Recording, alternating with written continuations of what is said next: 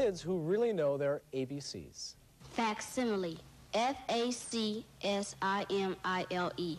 The tension was thick, so thick it could make any grade or middle schooler. Grimace. Grimace. G R I M A C E.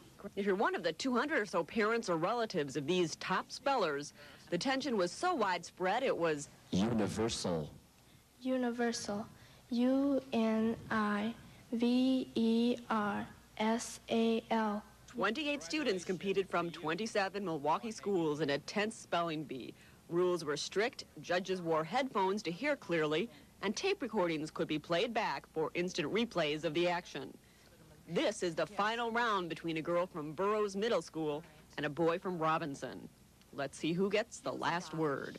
Fuselage. F U S E L A G E. Fuselage. First place winner, 11-year-old Brendan Norton. Brendan and five other students get to go on to the regional spelling bee to compete against other schools next month. How did you end up being such a good speller? Well, I learned to read at an early age, so I guess that helped because I like to read a lot. And when you read, you know, you discover new words and you go look them in the dictionary. And You have just witnessed a part of Americana. Students, let me congratulate you, and parents, relax. At least until the next round in March.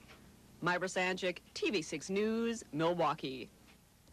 Well, how do they spell relief at the Birkenbinder today with a little S-N? I became very discouraged and I tried